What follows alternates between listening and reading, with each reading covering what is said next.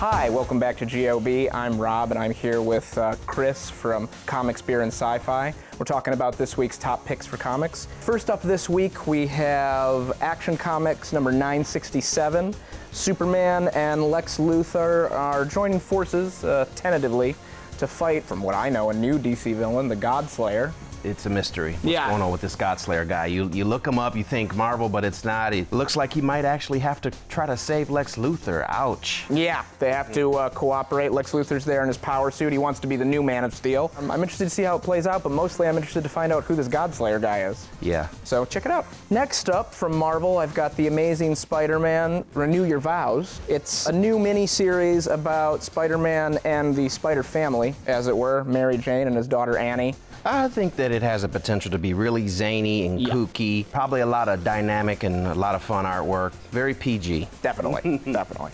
And next up by Marvel, we have the new Invincible Iron Man series with Ironheart, Riri Williams. I am pretty excited for this one. Riri is a super genius from Chicago. It's good to be from Chicago, right? I mean, mm you've got Riri Williams, you've got the Cubs. Can we get a superhero from Detroit, Michigan? That would be nice. and there's a theme with go going on with Marvel, if you notice. They're becoming very progressive, very yes. forward thinking. They're really True. working hard to become more diverse and more inclusive. A plethora of characters from all different backgrounds really adds a nice dynamicism to the series. Next up from Marvel, we have Black Panther World of Wakanda.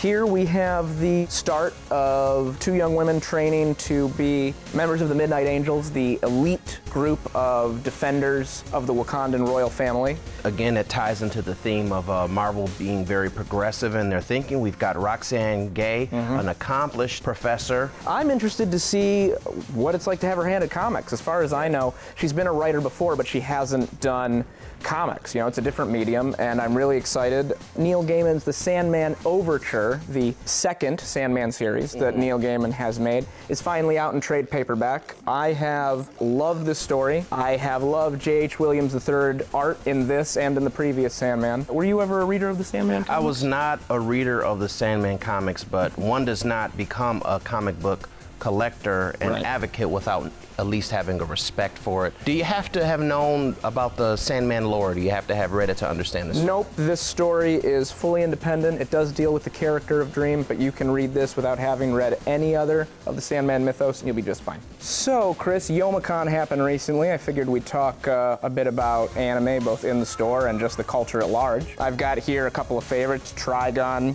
One Punch Man, which is a great series, Saitama, killing people in one punch. Lone Wolf and Cub, which is a little more of a serious series that I've enjoyed a lot. And of course, you're holding on to uh, Goku. Yeah, he's kind of like the Superman yeah. of the anime. You know, when you think of comic books, mm -hmm. you automatically think of Superman. Sure. When you think of anime, you'd be hard pressed not to think Dragon of Ball Z. Thank you so much for joining us. I'm Rob, this is Kris, and we'll see you here next time.